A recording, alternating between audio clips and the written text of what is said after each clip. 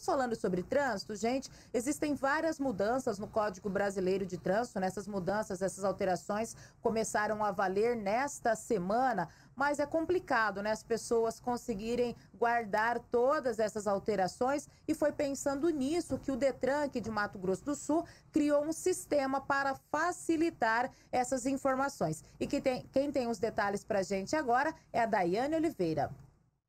E com tantas mudanças no Código de Trânsito Brasileiro que passaram a valer recentemente, o Departamento de Trânsito aqui de Mato Grosso do Sul fez um portal para facilitar o acesso à população a estas mudanças com uma linguagem muito acessível, mostrando como era e como fica com as mudanças que agora estão em vigor.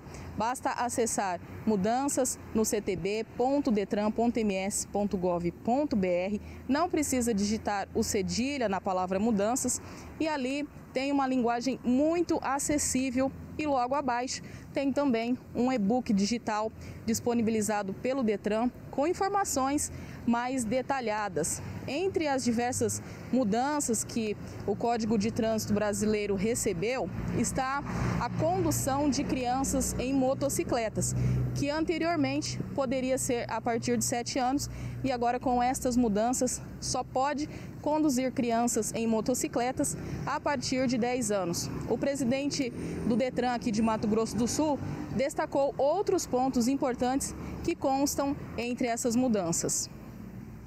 O Código de Trânsito Brasileiro, na realidade, são 57 alterações que impactam a vida de todos, todo mundo, tá? sejam habilitados ou não.